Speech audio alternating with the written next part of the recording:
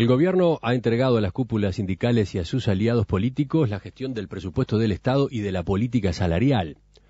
Desde octubre de 2011 se perdió el control de las finanzas públicas en Uruguay, se perdió el control del gasto público y los salarios reales se salieron de cauce.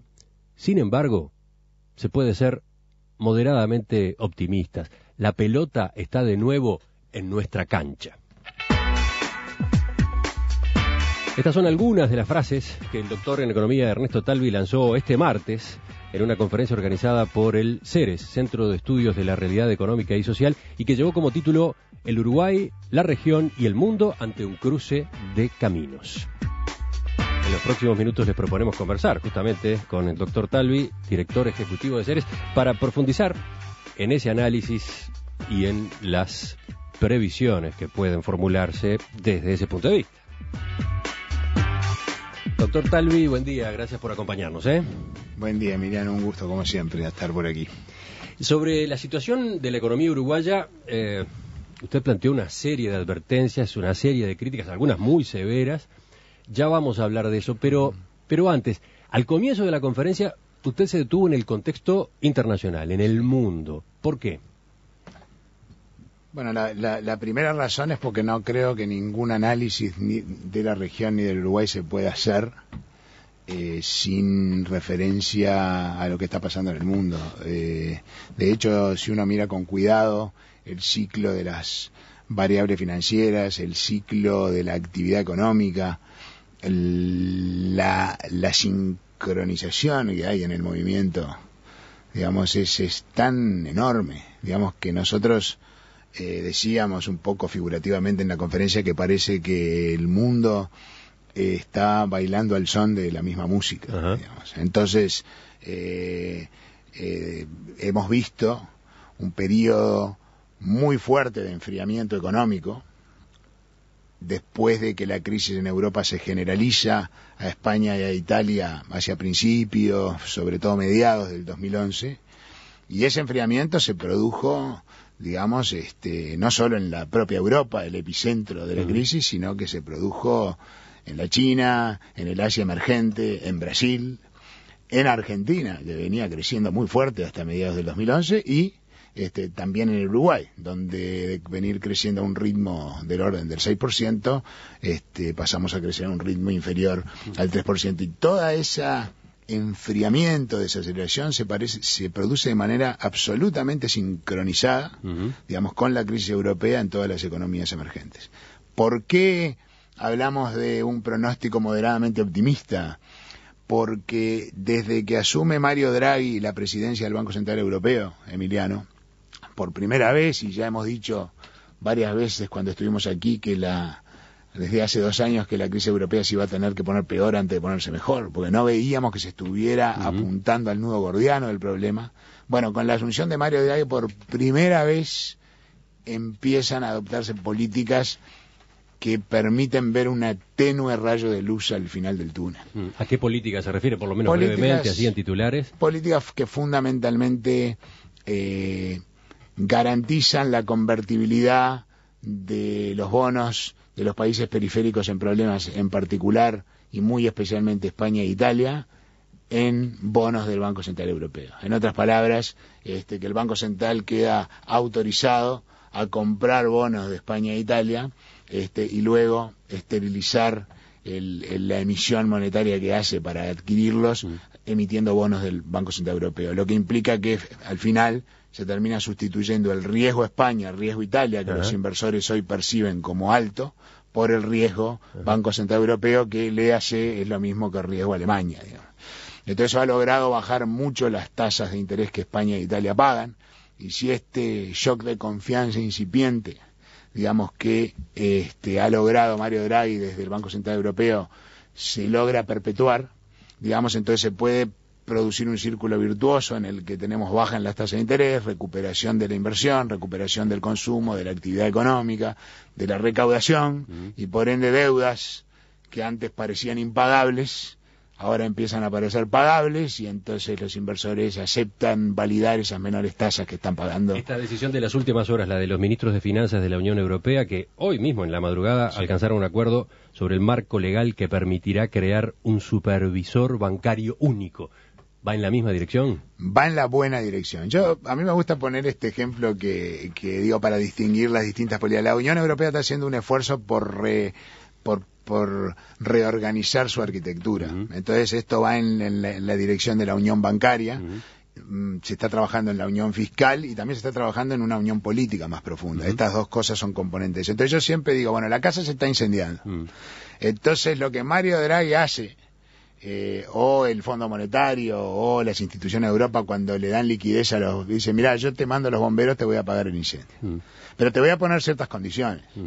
Es decir, tenés que cuidar las finanzas públicas, hacer esto, lo otro, hacer estas reformas. Eso es como decirle, mira, después que te apague el incendio, te tenés que ocupar de pintar un poco la casa y arreglarla y ponerla un poquito en orden como estaba. Y estas otras iniciativas de la Unión Bancaria, como esta noticia de hoy, la Unión Fiscal, que son más de largo plazo, es como decir, pero además vamos a poner bomberitos y poner detectores de humo para asegurarnos que este incendio mm. no se vuelva a producir. Entonces son, digamos, todas cosas que apuntan en la buena dirección, pero diría que lo más espectacular desde el punto de vista de resultados y lo más importante es lo que está haciendo Draghi desde el Banco Central. Eso hace que desde mediados de este año eh, hayamos tenido una distensión espectacular en los mercados financieros. Distensión. Distensión. Ese es el término que usted usa que significa que... Que se han recuperado las bolsas en todo el mundo, que el, riesgo país de los países emergentes ha bajado enormemente, que de vuelta los capitales que se habían retraído a Brasil, por ejemplo, estaban llegando a razón de 80 mil millones de dólares al año, se habían retraído a 40 mil millones, ya están subiendo de nuevo. A Uruguay, que venían a razón de 3.500 millones de dólares, se habían retraído a menos de 2.000, ya están viniendo de nuevo. Eso es lo que está poniendo presión para apreciar las monedas. Después hablaremos seguro de eso. eso es un problema. Este, y es lo que está haciendo, y por eso nosotros figuramos, eh, hacemos un pronóstico moderadamente optimista, que las economías de los países emergentes estén empezando de nuevo a recuperarse. En la Chile, en el Asia, en Brasil, en Uruguay. No así en Argentina, porque Argentina sufrió mucho el deterioro externo, pero tomó medidas durante esa fase de deterioro heterodoxas, que digo, yo digo medio para en sentido figurado, que es el nombre elegante que le ponemos al disparate, que minaron la credibilidad y por ende no está aprovechando de esta distensión internacional que estamos teniendo y la economía no está mostrando síntomas de recuperación. ¿Cómo ubica en ese cuadro la influencia de Estados Unidos? ¿Qué es lo que está pasando en Estados Unidos? En la conferencia usted dijo que la evolución de la economía de Estados Unidos sigue los patrones habituales de las recuperaciones después de las crisis financieras y que lo que cabe esperar es que siga creciendo y paulatinamente lo haga a tasas más vigorosas. Sí. Eh, el, patrón típico después de las crisis financieras es que la gente, como el crédito se vuelve caro y, escaso, eh, quiera desendeudarse.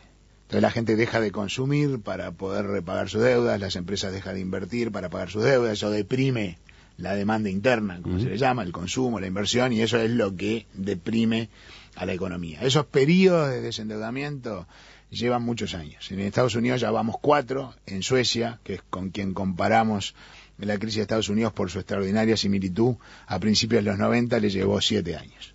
Cuando ese proceso de desendeudamiento termina y la gente vuelve a retomar patrones de consumo más normales y las empresas patrones de inversión más normales, entonces las economías empiezan a recuperar con vigor. Lo que estamos viendo en Estados Unidos es que quizás este proceso esté llegando a su fin de manera un poco más rápida de lo que pasó con el antecedente sueco. Estamos viendo que los precios de las viviendas que habían caído 40% se están estabilizando, que el crédito que se había hecho pedazos, de hecho los bancos no solo no estaban prestando, sino que estaban recobrando ese créditos, está empezando a, a, resucitar mm. de manera más o menos tenue, pero resucitar, y la industria de la construcción ha parado de caer y se está recuperando, digamos. Quiere decir que vemos los primeros síntomas de que el proceso de desendeudamiento agudo que mantiene la demanda interna muy comprimida, digamos, está llegando a su mm. fin entonces podríamos esperar digamos, que Estados Unidos este, sea una fuerza digamos, de recuperación positiva para la economía mundial. No nos olvidemos que Estados Unidos es todavía el 25% de la economía del mundo. De todos modos, hay algunas luces amarillas, ¿no? Está el riesgo del abismo fiscal, por ejemplo. Está el riesgo del abismo fiscal. El abismo fiscal, para que la gente sepa lo que es, es simplemente que eh, a fin de año eh, eh, rebajas de impuestos que se hicieron durante la administración Bush y la administración Obama eh, se terminan de manera automática, o sea que habría una suba automática de impuestos y una reducción automática de algunos gastos que se comprometieron cuando a mediados del año pasado se renegoció el aumento de los topes de deuda. Quiere decir que si no se hace nada, digamos, eh, entonces va a haber un ajuste fiscal del orden del 4% del PBI y eso podría ponerle a la economía presiones recesivas que estimamos van a ser temporarias, pero que sería una lástima que en un momento en que la demanda interna privada todavía está frágil, le impongamos un ajuste fiscal absolutamente prematuro, abrupto y en mi opinión innecesario, digamos. Así que esperemos que se pongan de acuerdo republicanos y demócratas. No es fácil, es el Congreso de Estados Unidos está en los niveles de polarización más altos que conoce la historia reciente, digamos, pero aún si no se pusieran de acuerdo, el presidente Obama tiene algunas opciones que no creo que valga la pena entrar en detalle en ellas para poder evitar, digamos, caer caer en este abismo. Así que la resolución de la Reserva Federal de ayer, un paso más en la política de estímulo monetario, cuando anunció una nueva inyección de liquidez, cuando anunció que mantendrá las tasas de interés de referencia a niveles excepcionalmente bajos, así que entre 0 y 0,25% hasta que el desempleo baje a 6,5%, va en la línea de lo que usted dice. La Reserva Federal, Emiliano, ha llevado una política, hicimos un análisis muy minucioso en, en la conferencia, ha llevado una política absolutamente impecable. Durante toda esta crisis financiera, la Reserva Federal ha evitado que tuviéramos una nueva Gran Depresión porque dio la casualidad, y en la vida a veces se dan esas casualidades, que este señor Ben Bernanke, el presidente de la Reserva Federal, el Banco Central de Estados Unidos, un académico, que nunca había estado ni en Wall Street ni en nada en el sector privado, un académico que se había especializado en entender los orígenes de la Gran Depresión del 29 en Estados Unidos. Entonces, en el momento en que 80 años después tenemos la peor crisis financiera de la historia de los Estados Unidos después de la Gran Depresión, está al mando del Banco Central una persona que entendía perfectamente todo lo que nuestra ciencia sabe al respecto de cómo manejar estas grandes depresiones. Gracias a él esa gran depresión se evitó. A este señor era el que Mitt Romney, el candidato republicano, digamos, dijo que quería destituir o reemplazar, porque no puede destituirlo hasta dos años después de entrado su mandato, de la Reserva Federal. Lo que a mí me, me hacía temblar de miedo porque este, me parecía que había un error muy grande de concepto, digamos, en la este, en el diagnóstico que se estaba haciendo este, por el candidato republicano. Así que la política monetaria va a seguir siendo un apoyo a la recuperación, digamos, y esperemos que la política fiscal, digamos, este, que el, el abismo fiscal se resuelva de una manera razonable, que no interrumpa una recuperación que la verdad que eh, viene bien, digamos, y que le viene muy bien al mundo. De las preguntas de la audiencia, Romina, elegimos una para cerrar este bloque. Hay un oyente que pregunta, ¿se puede decir que el mundo financiero está siendo ordenado entonces? Yo diría que está tratando de ser reordenado después de haber sufrido una crisis severa. En Estados Unidos ese proceso viene muy bien.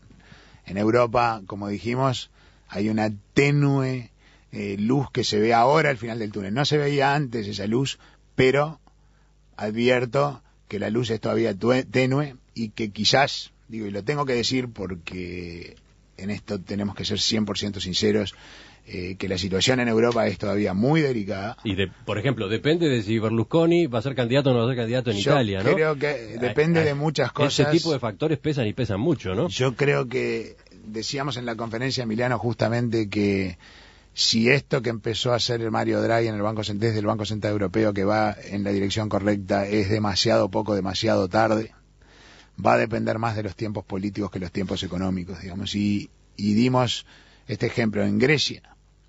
La intención de voto de la última encuesta para la extrema izquierda y para el partido neonazi Amanecer Dorado, digamos, suma 50%. Es decir, que los partidos tradicionales de Grecia han bajado de 86% en la elección del 2004 a 30% de intención de voto ¿Qué quiere decir esto? ¿Que, ¿Que el electorado griego de golpe se ha vuelto extremista? No, es un voto castigo al establishment por no haber podido lidiar con una situación que es sumamente grave, con un desempleo del 25%, entre los jóvenes del 52%, con caídas de salarios de 30%, de jubilaciones de 40%. Digamos, entonces, mi temor es que cuando se dan esas condiciones políticos sociales, uno nunca sabe qué chispa puede encender el fuego. Digamos, en, en, Italia lo que se teme es el regreso del populismo. El regreso del populismo. Mi temor es que un, un, un estallido social en Grecia, por ejemplo, eh, pueda perfectamente terminar como terminó la historia en la Argentina. Enseguida venimos al análisis de Uruguay. Esta mañana en perspectiva estamos conversando con Ernesto Talvi, un economista que en los últimos años se ha consolidado como un provocador de debates que marcan la agenda.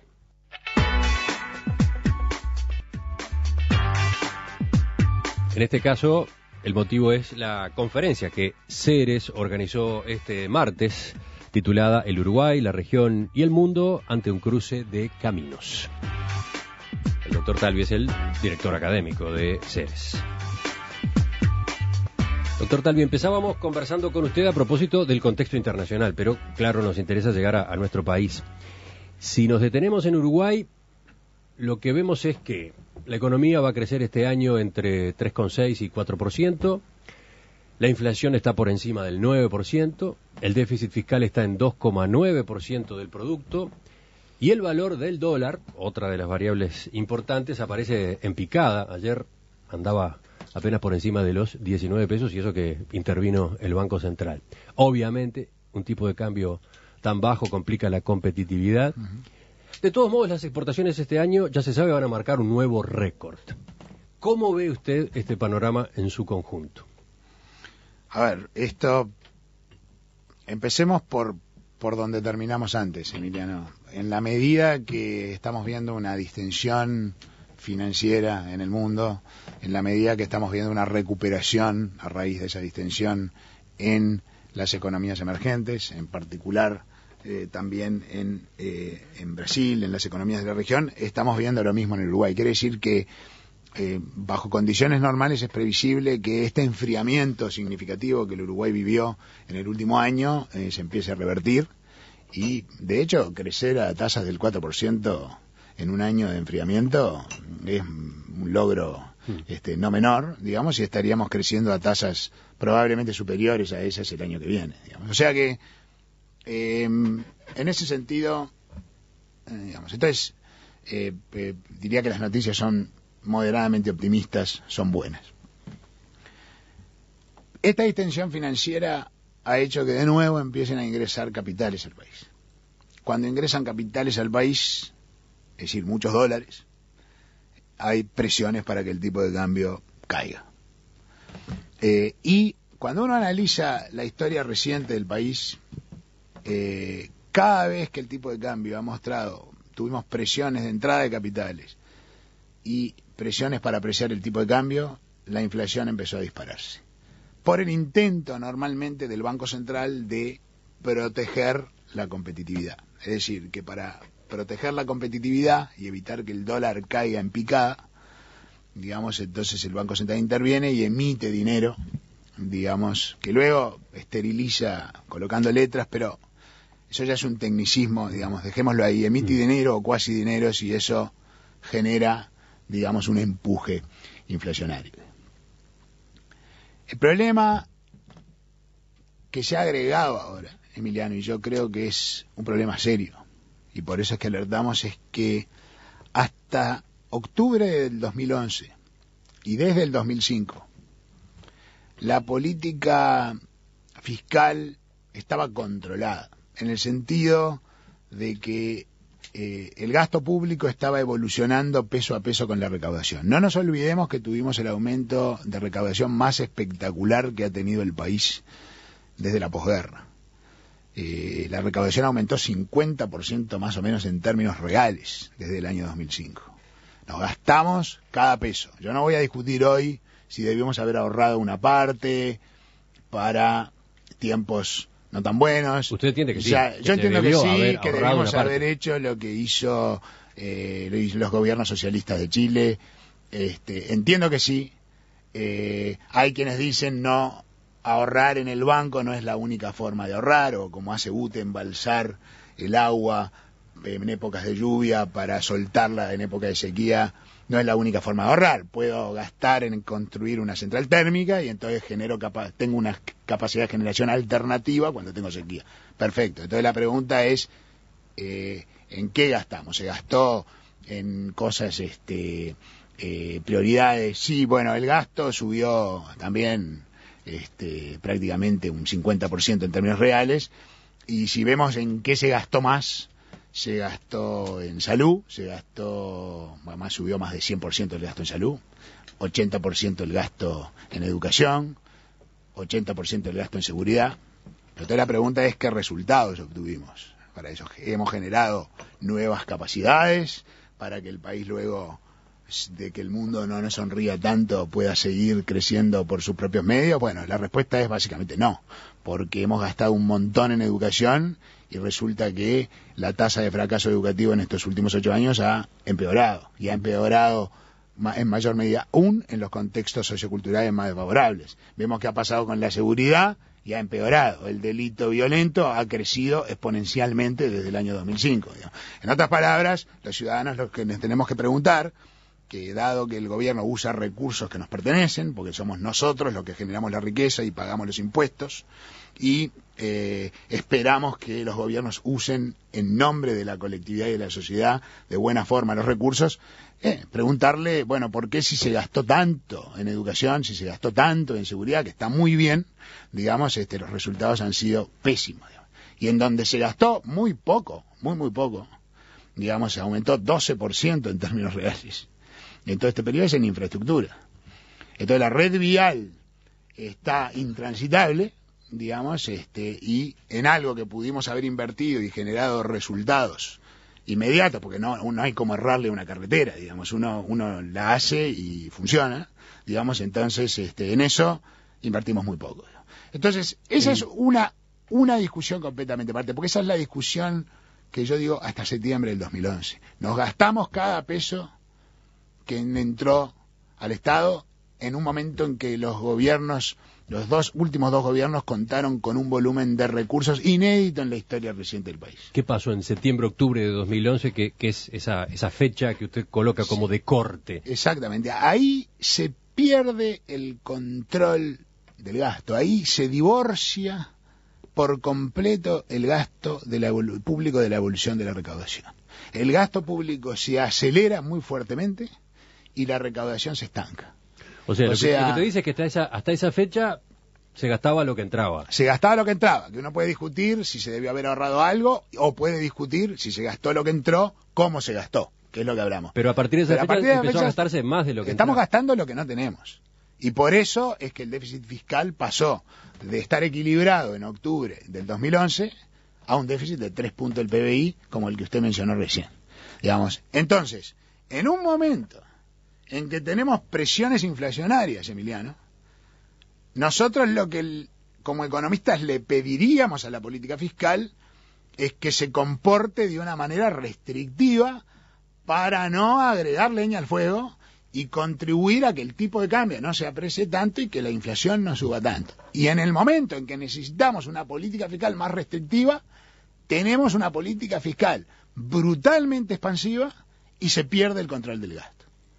Al mismo tiempo, este es un modelo que estimó Ceres sobre la determinación de salarios en Uruguay. Hasta septiembre del 2012, yo tengo que decir con total honestidad que el modelo nos decía que la evolución de los salarios venía comportándose acorde con el comportamiento de sus determinantes fundamentales de las variables económicas más importantes. ¿Hasta qué fecha? Hasta septiembre del 2011. O sea, el, mismo, el, mismo, momento, en que se pierde control del gasto público, la política salarial se sale de cauce.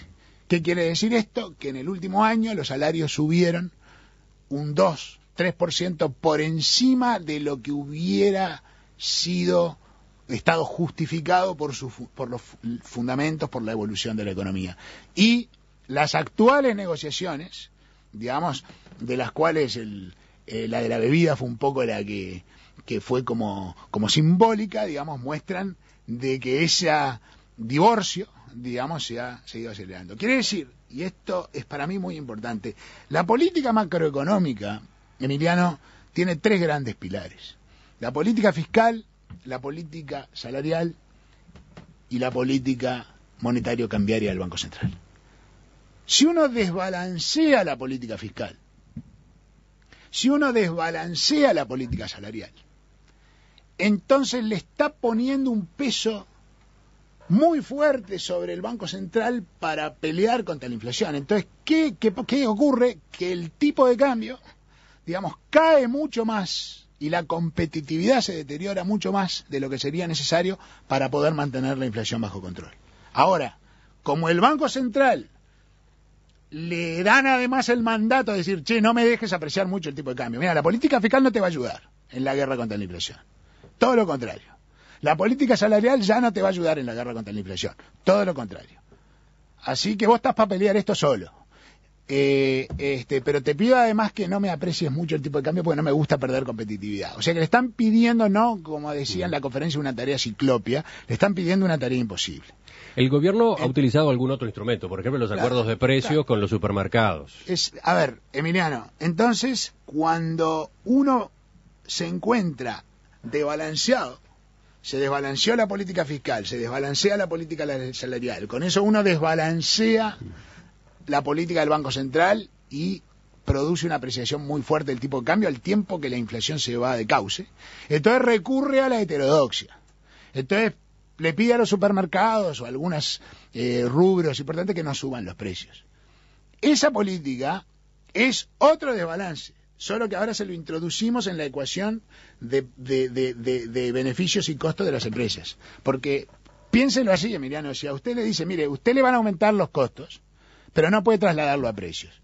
¿Qué significa eso? Que mis beneficios y mi rentabilidad va a sufrir.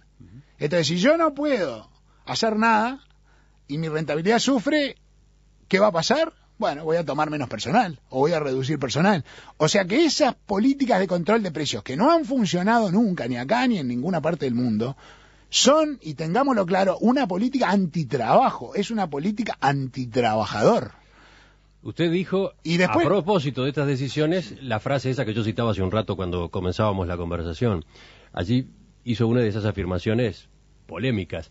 Daría la impresión de que se asiste a una suerte de politización de la gestión económica en la que el gobierno ha entregado a las cúpulas sindicales y a sus aliados políticos la gestión del presupuesto del Estado y de la política salarial, renunciando a la responsabilidad constitucional de gobernar en dichas áreas en representación de todos los ciudadanos del país.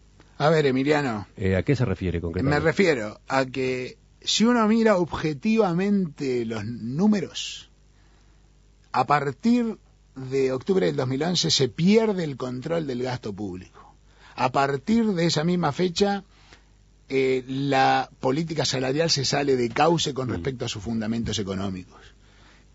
¿Qué quiere decir esto? Que la política macroeconómica, que, de, que esos tres pilares, política fiscal, salarial y monetaria cambiaria del Banco Central, que era, estaba perfectamente balanceada, que era lo que realmente el gobierno podría mostrar como su gran logro, porque buena parte del crecimiento que tuvo, que produjo una formidable reducción de la pobreza y la indigencia, vino por vientos muy favorables de afuera y lo vivió Argentina hasta mediados de 2011 y lo vivió Paraguay, lo vivió Brasil, lo vivió Perú, lo vivió Colombia, lo vivimos todos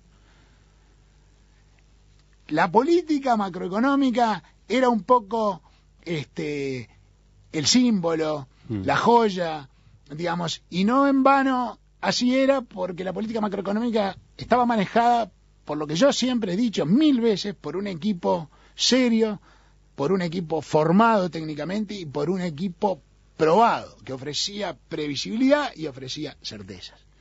Digo, de golpe esto se desancla y el país se desbalancea, peligrosamente, digamos, porque estos desbalances no se resuelven con más desbalances. Es como una persona que de golpe se marea y empieza a bambolearse. ¿Y, por qué pasa eso?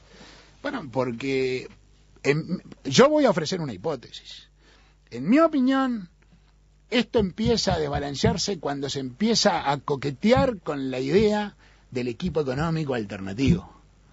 A coquetear con la idea de que este equipo económico tiene el control pero no lo tiene, está siendo vigilado.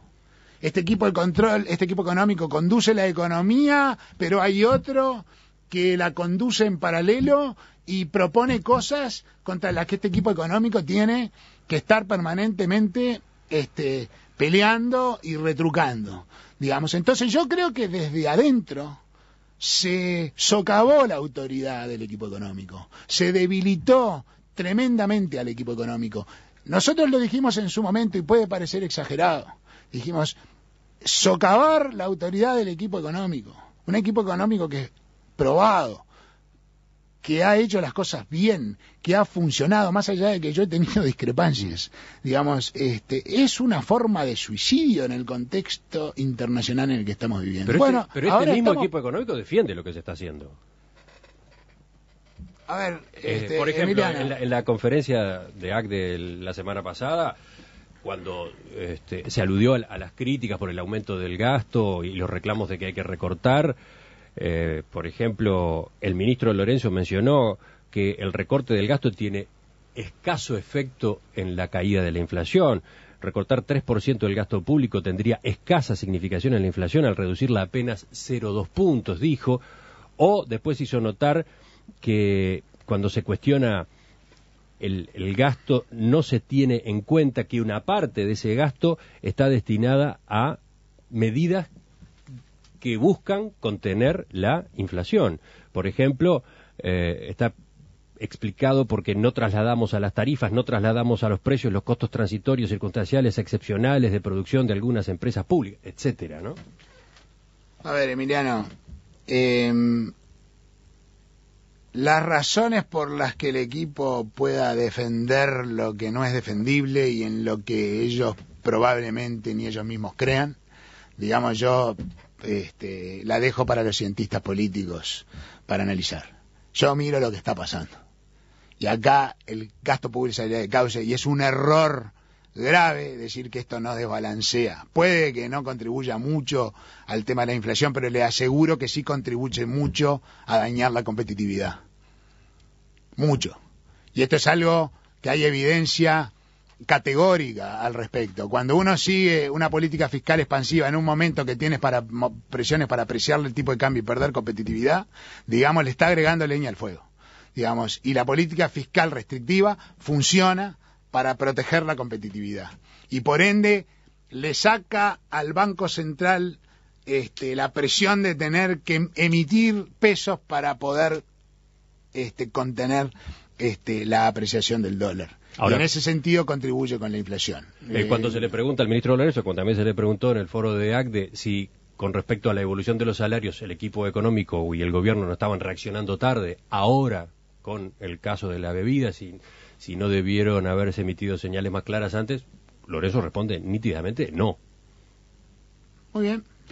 De, debieron haberse, yo creo que las señales se emitieron este, de manera categórica, simplemente que en muchas de las negociaciones esas señales se desoyeron.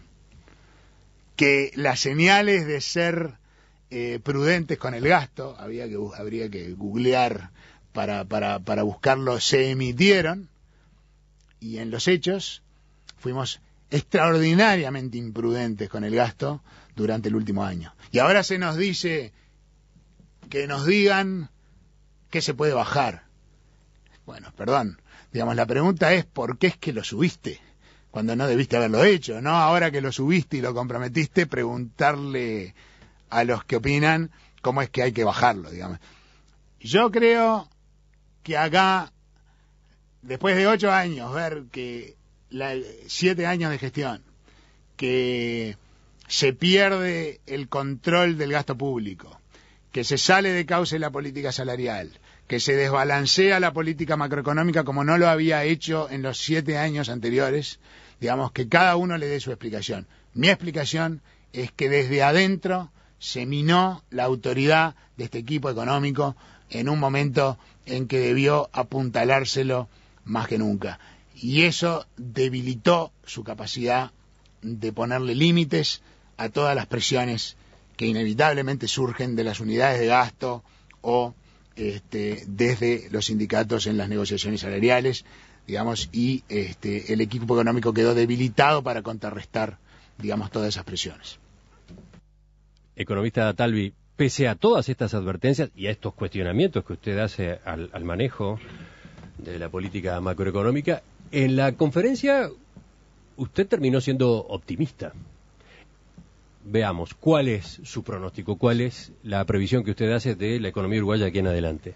Yo lo que dije, Emiliano, es que el dado que esta distensión que estamos viendo a nivel internacional, que no está exenta de riesgo, porque la situación Mm. en Europa es muy delicada y de ella depende. La distensión se produce por lo que pasó en Europa y va a continuar dependiendo cómo continúen los acontecimientos en Europa, que de vuelta, digo, es muy delicada la situación.